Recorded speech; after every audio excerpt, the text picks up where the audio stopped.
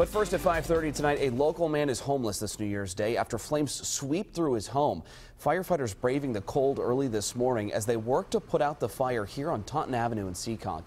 And today we talked to the homeowner off camera who tells us how he believes it started. Eyewitness News reporter Tatevik Aprikian is live in studio now with our top local story at 5:30. Well, the elderly man was the only person living in the house and he was not hurt in the fire.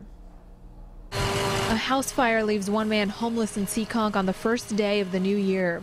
A large response to this home on Taunton Avenue in Seekonk where firefighters were met with heavy fire and smoke on the first floor early Thursday morning.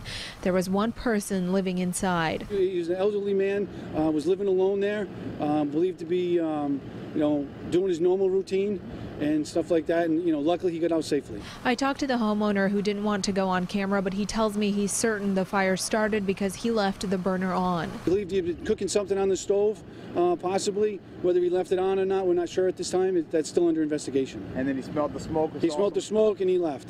The man told me he's lived at this home for decades and he was visibly upset from losing everything. The Red Cross was called to help the man with shelter. The cold weather also made it tough on firefighters. The cold weather does take its toll. Um, you got to worry about icy conditions and stuff like that. But we've got the rehab unit here. Guys can come out, get something to eat, uh, warm up a little bit before they have to go back in and do their work. That homeowner also had a pet, but it was staying with a neighbor, and that fire is still under investigation. Live in the studio, Tatevik Aprikian, Eyewitness News.